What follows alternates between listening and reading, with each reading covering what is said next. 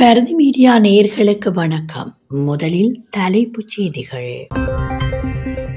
யாழில் வீடுகளுக்குள் நுழைந்து திருட முயற்சித்த ஐந்து இளைஞர்கள் கிராம மக்களால் மடக்கி பிடிப்பு. சட்டவிரோத மணல் அகழ்வாளர்களால் இளைஞர் மீது தாக்குதல்.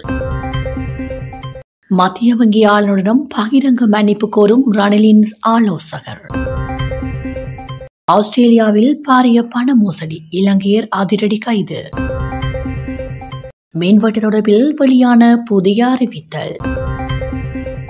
முல்லைத்தீவு உடையார்கட்டில் மனித எச்சங்கள் மீட்பு.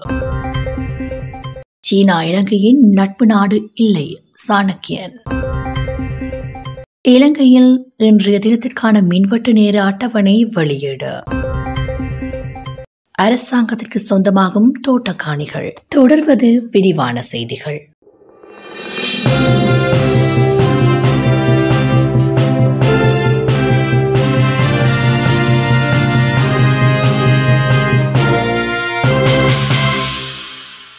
யாழ்ப்பாணத்திலிருந்து புதுக்குடியிருப்பு பிரதேசத்திற்கு திருட வந்த இளைஞர்களை மடக்கு பிடித்து போலீசாரிடம் ஒப்படைத்த சம்பவம் ஒன்று புதுக்குடியிருப்பு பிரதேசத்தில் இடம்பெற்றுள்ளது. பொதுக்குடியிருப்பு எட்டாம் வட்டார பகுதியில் நேற்று காலை வீடு உடைத்து கொள்ளை முயற்சியில் ஈடுபட்ட ஐந்து இளைஞர்களை வீட்டு உரிமையாளர்கள் கண்டு சத்தமிட்ட வேளை திட்டம் முய முற்பட்ட ஐந்து இளைஞர்களும் வீட்டிலிருந்து தப்பியோடியுள்ளனர் இதனைத் தொடர்ந்து கிராம மக்கள் தேடுதல் நடத்திய போது ஏனைய இரண்டு திருடர்களும் பின்னர் பிரதேச இளைஞர்களால் பிடிக்கப்பட்டு போலீசாரிடம் ஒப்படைக்கப்பட்டுள்ளனர். இவ்வாறு கைது செய்யப்பட்டவர்களிடமிருந்து கத்தி கோடரி போன்ற கூறிய ஆயுதங்கள் மீட்கப்பட்டுள்ளதுடன் யாழ்ப்பாணம் சங்கானை இரண்டப்பாளை உள்ளிட்ட பகுதிகளை சேர்ந்தவர்கள் இவர்களுக்கு உடந்தையாக செயற்பட்டுள்ளமை தெரிய வந்துள்ளது இதனைத் தொடர்ந்து கைது செய்யப்பட்ட திருடர்களை வீதியில் இழுத்து வைத்து நையப்புடைப்பு செய்து போலீசாரிடம் ஒப்படைத்துள்ளனர். சட்டவிரோத மணல் அகழ்வை தடுத்து நிறுத்தி மணல் கடத்த முன் முயன்ற ஒருவரை பிடித்து விசேட அதிரடி படையினரிடம் ஒப்படைத்த இளைஞர் ஒருவர் மணல் அகழ்வு கும்பலால் தாக்குதலுக்குள்ளான நிலையில் இன்றைய தினம் பருத்தித்துறை ஆதார வைத்தியசாலையில் சிகிச்சைக்காக அனுமதிக்கப்பட்டுள்ளார். இவ்வாறு சிகிச்சைக்காக அனுமதிக்கப்பட்டவர் வலிகண்டி குடத்தனை மேற்கை சேர்ந்த பத்தொன்பது வயதுடைய பவானந்தராசா தரிசியன் என்றும் தெரிய வந்துள்ளது இது குறித்து மேலும் தெரிய வருகையில் திங்கட்கிழமை இரவு ஒன்பது மணியளவில் வலிகண்டி பகுதியில் சட்டவிரோதமான முறையில் வாகனம் ஒன்று மணலகவில் ஈடுபட்டுக் கொண்டிருந்த நிலையில் கிராம இளைஞர்களால் வாகன உரிமையாளர் சிறப்பு அதிரடி படையினரிடம் ஒப்படைக்கப்பட்டிருந்தார். இந்நிலையில் விசேட அதிரடி படையினரிடம் அழைத்து செல்லப்பட்ட குறித்த கப்ரக வாகன உரிமையாளர் மற்றும் இளைஞர்கள் வலிகண்டி பகுதிக்கு சென்று குறித்த இளைஞர் மீது தாக்குதல் மேற்கொண்டுள்ளதுடன் அச்சுறுத்தலும் விடுத்திருந்தனர். இதன்போது காயமடைந்த இளைஞர் பருத்தித்துறை ஆதார வைத்தியசாலையில் சிகிச்சைக்காக அனுமதிக்கப்பட்டுள்ளார். அதிபர் ரணில் விக்ரமசிங்கவின் நாடாளுமன்ற விவகார ஆலோசகர் பேராசிரியர் ஆசி மாரசிங்க மத்திய வங்கியின் ஆளுநர் கலாநிதி நந்தலால் வீரசிங்கவிடம் அண்மையில் தொலைக்காட்சி நிகழ்ச்சி ஒன்றில் தான் தெரிவித்த கருத்துக்காக நிபந்தனையற்ற மன்னிப்பு கோர விரும்புவதாகவும் தான் வெளியிட்ட கருத்து தொடர்பில் வருத்தம் தெரிவித்துள்ளார். அரச தொலைக்காட்சியின் நிகழ்ச்சியில் கலாநிதி நந்தலால் வீரசிங்க பற்றி தாம் கூறிய கருத்து பொய்யானது எனவும் அதற்காக வருந்துவதாகவும் அவர் குறிப்பிட்டுள்ளார். மத்திய வங்கியின் ஆளுநர் அதிபர் தேர்தலில் போட்டியிட தயாராக இருப்பதாகவும் அதற்கான பிரச்சாரங்களை ஏற்கனவே ஆரம்பித்து விட்டதாகவும் பேராசிரியர் ஆசி மாரசிங்க அண்மையில் தெரிவித்திருந்தமை குறிப்பிடத்தக்கது. ஆஸ்திரேலியாவில் மெல்போனில் நடைபெற்ற உள்ளூர் கிரிக்கெட் போட்டிக்காக பத்து சர்வதேச வீரர்களுக்கு பணம் கொடுப்பதற்காக தனது முதலாளியில் கணக்கிலிருந்து இருநூற்றி ஐம்பதாயிரம் அமெரிக்க டாலர்களை திருடியதாக குற்றம் சாட்டப்பட்ட இலங்கையர் பற்றி ஊடகங்களில் செய்தி வெளியிட்டுள்ளன. முப்பத்தி ஐந்து வயதான சந்தேக நபர் மீது மெல்போன் காவல்துறையினால் பத்தொன்பது திருட்டு மற்றும் மோசடி குற்றச்சாட்டுகள் சுமத்தப்பட்டுள்ளன. சந்தேக நபர் மெல்போன் நீதவான் நீதிமன்றில் முன்னிலைப்படுத்தப்பட்டுள்ளார். போலி ஆவணங்களை தயாரித்து முதலாளியின் கணக்கிலிருந்து இருநூற்று ஐம்பதாயிரம் அமெரிக்க டாலர்களை திருடியுள்ளதாக காவல்துறை குற்றப்பத்திரிகையில் குறிப்பிடப்பட்டுள்ளது.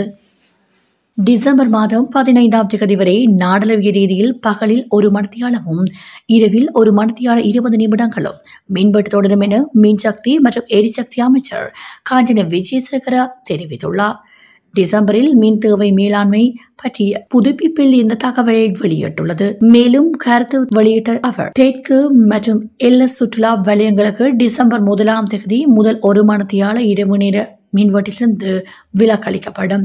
டிசம்பர் பதினைந்தாம் தேதி நுரைச்சோலை நிலக்கரி அனல் மின் நிலையத்தின் மூன்றாவது மின்பிறப்பாக்கியை தேசிய மின்வாட்டத்துடன் இணைத்துக் கொள்வதன் மூலம் அனைத்து சுற்றுலா வலயங்களுக்கும் இரவு வேளைகளில் மின்வெட்டிலிருந்து விலக்களிக்கப்படும்.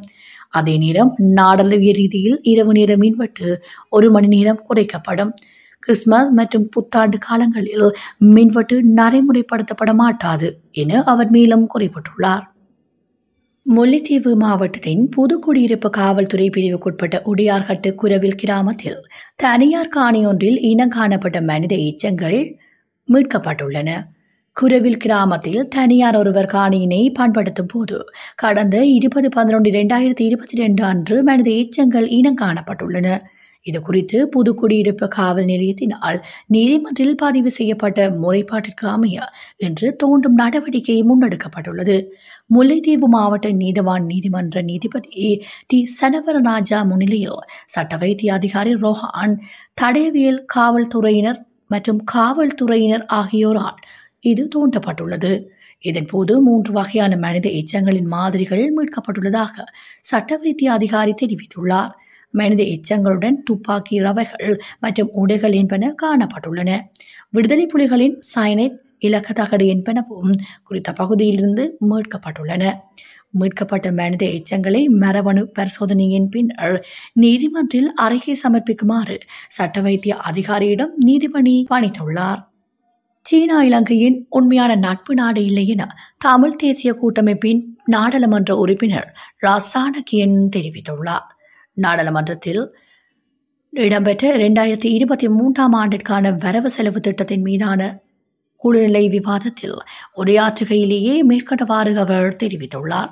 இதன்போது அங்கு தொடர்ந்தும் உரையாற்றிய அவர் சீனா ஹம்பாந்தோட்டை துறைமுகத்தையும் கொழும்பு துறைமுகத்தையும் தனதாக்கியுள்ளது. நாட்டின் பொருளாதாரத்தை மேம்படுத்த சீனா இந்த அபிவிருத்தி முதலீடுகளையும் மேற்கொண்டுள்ளது. இந்த நாட்டின் பொருளாதாரத்தை மேம்படுத்த சீனா எந்த அபிவிருத்தி முதலீடுகளை மேற்கொண்டுள்ளது. சீனாவின் முதலீடுகளால் இலங்கைக்கு எவ்வித நலனும் கிடைக்கப்பெறவில்லை. சீனா இலங்கையின் நெருங்கிய நண்பன் என்று குறிப்பிடுகிறார்கள். அவ்வாறாயின் கடன் மறுசீரமைப்பு விவகாரத்தில் இலங்கைக்கு சீனா ஆதரவாக செயற்பட வேண்டும்.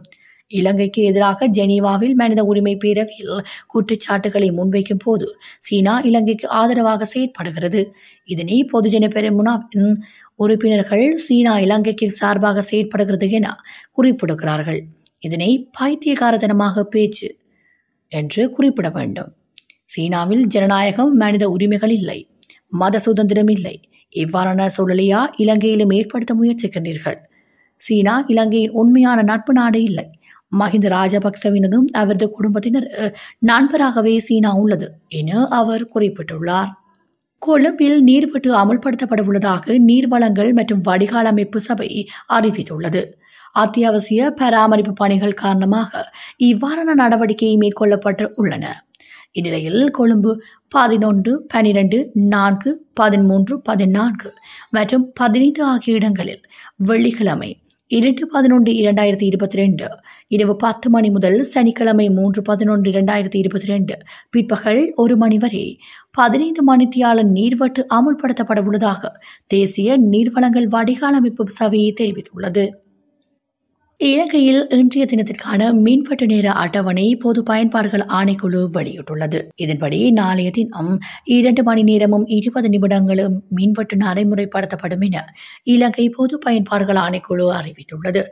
இலங்கை மின்சார சபையின் கோரிக்கைகளுக்கு அமைய இதற்கான அனுமதி வழங்கப்பட்டுள்ளதாக ஆணைக்குழுவின் தலைவர் ஜனகரத்நாயக்க தெரிவித்துள்ளார்.